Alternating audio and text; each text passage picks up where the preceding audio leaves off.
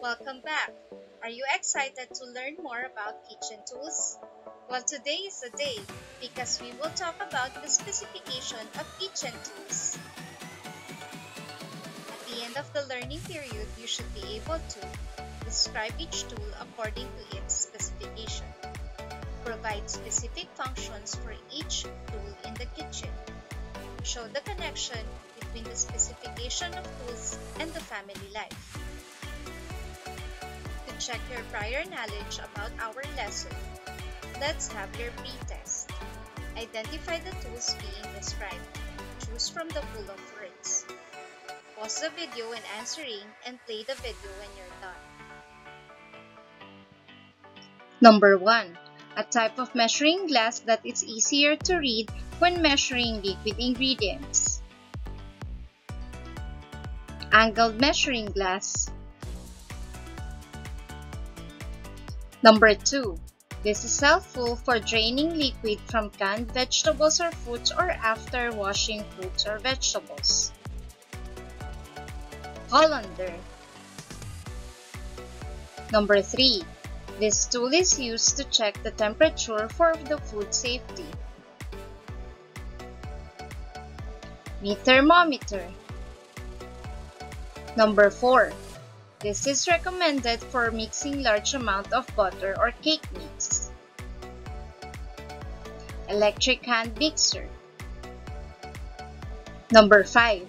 This is used to protect countertops from scratches while cutting. Chopping boards. For the second part of your pretest, let's have true or false. Read the statement and write true if the statement is correct and false if it's incorrect.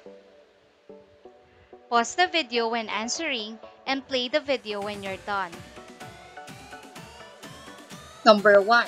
Chef's knife is used for chopping and cutting. True. Number 2. Measurement is important in baking. Also true. Number 3. Slatted spoons are used for serving pasta. False, because pasta spoon is the answer. Number 4. Whisks are used for light butter mixture. True. And number 5. Grater is used for filling vegetables and fruits. False, because vegetable peeler is what is used for peeling vegetables and fruits. For the review of the previous lesson, fill in the blanks with the correct terms to complete the sentences. Choose from the pool of words. Pause the video when answering and play the video when you're done. Number 1. Blank the flour to remove lumps. Sift. Number 2. Blank the sugar into the cup until it overflows. Scoop. Number 3. Do not top or blank cup to level off. Shake. Number 4. Pack compactly the brown sugar until it follows the blank of the cup. Shape. Number 5. Level off with the spatula or back of a knife. Number 6. Place the measuring glass into a blank surface. Flat. Number 7. Fill the measuring cup or spoon with brown sugar while blank down pressing. Number 8. For measuring glass, check the measuring mark by blank down to eye level. Bending. Number 9. Stir the powdered milk to remove blank. Lumps. And number 10. Blank the measuring cup with oil or butter. Grease. Now let's have the discussion of the lesson. Specification of kitchen tools. Let's talk about knives. Kitchen knives should be sharp and have a good quality. Sharp knives can cut better and is easier to work with. In selecting knives, consider buying light, comfortable, and balances in your hand. It is good to have the following knives in your kitchen. Paring knife for peeling fruits and vegetables. Serrated knife for cutting bread. And chef's knives is the most used knife for cutting and chopping jobs. Now we have the cutting boards. To keep your countertops clean and scratch-free, cutting boards is a must. To prevent germs and cross-contamination of food, it is suggested to at least have a separate cutting board for meat and vegetables. Measuring spoons and measuring cups. Measurement is very important in baking and so are measuring tools. We use measuring spoons and cups for dry and liquid ingredients. Angled measuring cup is easier to read when measuring liquid ingredients. Spoons and whisk. In general, wooden spoon is used for mixing and stirring. Slatted spoon is used for draining liquids from food. Ladles are for serving soups and gravies. Pasta spoon is used for serving and keeping pasta separated.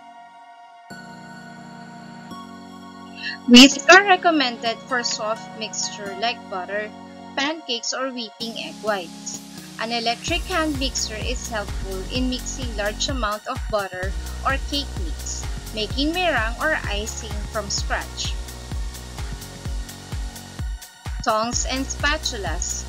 Tongs and spatulas are helpful for many jobs like turning food and serving food. They both come in different sizes and made from different materials. Mixing bowls. Mixing bowl is a must in every kitchen because it is useful for mixing ingredients and also for serving food. Colander. Colander should also be a part of your list of kitchen tools. It is helpful for draining liquid from canned vegetables or fruits or pasta, or for washing fruits and vegetables. Colander with stand is a good choice because you don't let the food sit in the liquid which is draining in the sink. Miscellaneous tools. Miscellaneous tools are tools that we think we don't need but they also offer great help. Grater. Grater helps for shredding, shaving, and zesting ingredients. Potato masher is used to mash potato. Vegetable peeler are used to peel vegetables and fruits. Meat thermometer will assure the proper temperature for food safety. Kitchen timer is used to monitor cooking time. Bottle opener is used to open bottles, and can opener is used to open canned goods. For your activity, you will give two functions or uses of the tools listed. For miscellaneous tools, you will give two miscellaneous tools and its uses. Pause the video when you're answering and play the video when you're done. Knives are used for peeling, cutting, and chopping. Cutting boards are used for protection for the surface and chopping. Spoons and whisks are used for mixing, stirring, serving, and draining liquid. Tongs and spatulas are used for serving food or turning food. Mixing bowls are used for serving food and mixing food. Colander are used for washing foods and draining water. For miscellaneous tools, any two from our list. We have grater for shredding, shaving, and zesting ingredients. Potato masher used to mash potatoes. Vegetable peeler used for peeling fruits and vegetables. Meat thermometer used to check food temperature. Kitchen timer used to monitor cooking time. Bottle opener used to open bottles and can opener which is used to open canned goods. For the wrap-up, answer the question below. What did you learn today? Pause the video when answering and play the video when you're done. To better understand the kitchen tools and the role they are playing, you will draw a family tree and write the members of your family. Under the names, explain the role each of you are playing in the family. How will you relate it to our lesson? Pause the video when answering and play the video when you're done. For the first part of your post-test, identify the tools being described. Choose from the pool of words. Pause the video when answering and play the video when you're done. Number 1. This tool is used to check the temperature for the food safety. Meat thermometer. Number 2. This is used to protect countertops from scratches while cutting. Chopping boards. Number 3. The type of measuring glass that is easier to read when measuring liquid ingredients. Angled measuring glass. Number 4. This is helpful for draining liquid from canned vegetables or fruits or after washing fruits and vegetables. Colander. Number 5. This is recommended for mixing large amount of butter or cake mix. Electric hand mixer. For the second part, read the statement and write true if the statement is correct, and false if it's incorrect. Pause the video when answering and play the video when you're done. Number 1. Serrated knife is used for peeling fruits and vegetables. False, because serrated knife is used for cutting bread and paring knife is used for peeling fruits and vegetables. Number 2.